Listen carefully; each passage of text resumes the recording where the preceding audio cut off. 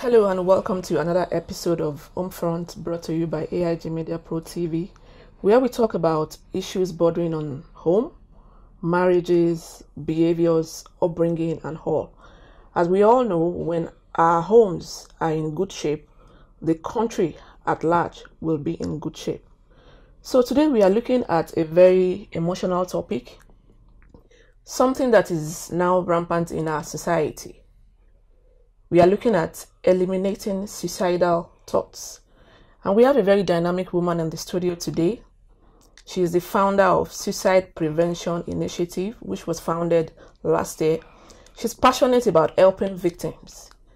So join me as I welcome Miss Elizabeth Annam. Thank Thanks you. for coming. Thank you very much. So we've we've I've gone through your work. I've seen you have so much passion about helping victims. But not until recently when it's now happening often in Nigeria.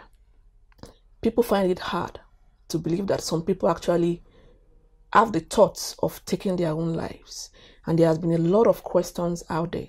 So, as an expert in the industry, as um, as someone that helps people, that has um, done a whole lot of work on the ground helping victims, Yeah. at what point can someone say, or at what point is someone conscious of having suicide thoughts?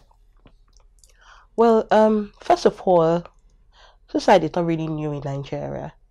We just started having more coverage on, uh, rather, we just started hearing more about it Okay. thanks to social media. Social media has kind of brought it to the forefront. Um, as to when somebody would actually, what, uh, at what point people actually get suicidal thoughts. Well, it doesn't just come; it comes gradually. It comes through something called a, a process of suicide ideation. Okay. It comes. Uh, we have suicide ide- ideation is in two ways. It could be passive. It could be active. Passive suicide ide- ideation is it's when someone is saying, "I wish I could just die now." I mean, I wish I could just cease to be. You know, I wish I wasn't alive. Those are passive suicide ideation. But with active, they have intent. They are planning. Oh, I'm going to do this. I'm going to do that. Oh, how am I going to do this? You know, they have a plan.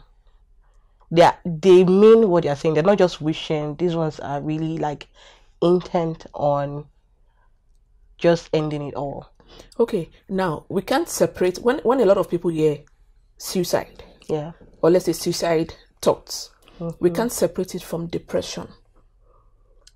Well, um, the reason why it's kind of hard to separate them is because they sort of go hand in hand.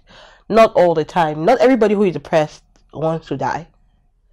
You know, um, depression can be very debilitating. Okay. I I was depressed for a couple of years in my teenage years, and um, I don't really remember in the initial stage thinking of dying. Uh, my thinking of dying, um, like I told you, it's it's it's um it's a gradual process, Okay. right? So for me, I began to think of dying only when I thought about the fact. Oh, I by the way, I lost my dad um, a week after my thirteenth birthday. So as a uh, as a first child, I just felt like, what's what am I living for? Just an extra mouth for my mom to feed. What if I just die and you know Just end it. lessen the burden for her. You know, I wanted to die out of love for my family, like, okay, because I saw the way my mom was struggling, you know, and I just felt like, okay, let me just die and get out of the way.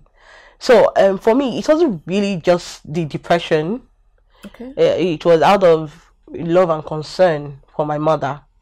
Now, for some people, they get depressed but don't really think of suicide. And then for some people, they get depressed so much. Remember that suicide um, is it's an individual like deciding that look, there's no other way out. No other way. As in, it, it comes as a result of hopelessness. Okay. And uh, when you get to that point, that's when you begin to really seriously consider Okay, we need to go on a quick break now. So, viewers, we are still in a conversation with Miss Elizabeth Annam. She's the founder of Suicide Prevention Initiative. And you're watching this on AIG Media Pro TV. I'm Adeyinka Igbenoba.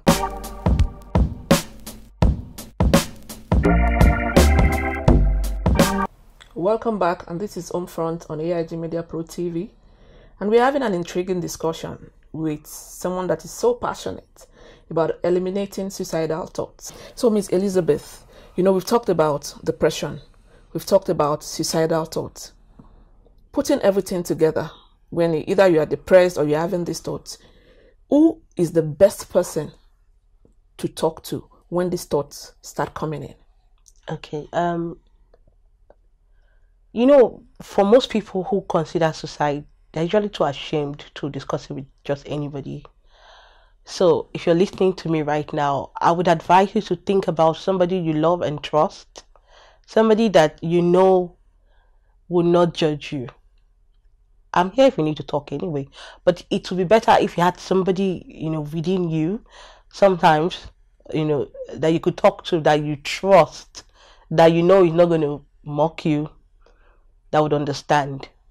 Normally, it's usually your friend. Now, now that is where the problem is because most of the people when they have it, when they have this thought is born out of shame Yeah. out of i'm going through this problem who do i talk to and because there's nobody to trust but now that brings us to the question that okay what is the government doing about this or uh, for example your own initiative how does it work Okay. Um. First of all, as to what the government is doing about it, at the at the moment, I'm not even sure, because before I started Suicide Prevention Initiative, I I just thought about it. What if I want to kill myself now? Who do I reach talk out to, to? okay So I went on Google and I found a number. I found some numbers. Number one, numbers they don't ring. It was ten instead of eleven. wow Yeah, you know, and then there was an email address.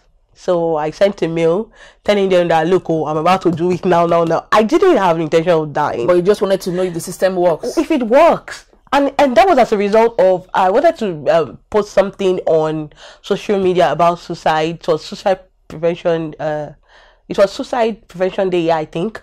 And um when i go when i checked on instagram for suicide it was among the banned um words that you can't use on instagram. If you must use it they will tell you this is dangerous but you can go ahead. Uh when they when I went ahead, they told me if you need help, reach out to so so so. They knew I was in Nigeria, so they gave me a Nigerian link and everything. That link doesn't work. I don't think it's a government owned thing, and if it is, that's really sad. now for those So, but what they can do Yeah. are many. But as to what they're doing right now, I don't know anything the government is doing right now. But I'm working behind the scene to get the government to partner with me some way or the other. Okay. You know, so that we could, you know, kick out this menace. I mean, it cannot be. It's wrong for society to be grabbing headlines. I mean, it's not a not a good thing. Okay, so let's take for instance viewers Yeah. watching and um, they need help. How do they get across to Suicide Prevention Initiative? Okay, so I'm on Instagram, Suicide Prevention Initiative Nigeria, and I'm also I can also be reached through Gmail, um, Suicide Prevention Initi- Initiative ng at gmail.com. I could also be reached via a mobile phone, Okay. uh, zero eight zero three three six five zero nine eight seven. So naturally, normally what they do is most of the people who I talk to right now reach out to me through social media Okay. and they reach out to me, they tell me, "Oh, excuse me, please, this thing, this thing," is," and then they just go straight to the point. Okay. While some people come online, they just want to know who is behind it, and then if you're a girl, they start like, "I like you" and all that. It's crazy. This is Nigeria. So we've come to the end of the program. Thanks Yeah. so much, Miss Elizabeth Annam, um, for coming. Thank you. and for viewers out there, this is a call to everyone that whatever the situation is, Yeah. suicide is not the only way out. No. Suicide is not an option. Life is beautiful. And for some of you having that thoughts, Miss Elizabeth is here to help you out of whatever situation you find yourself. So you're watching Homefront on AIG Media Pro. I am Adeyinka Egbinoba. Please join us next time for another wonderful edition.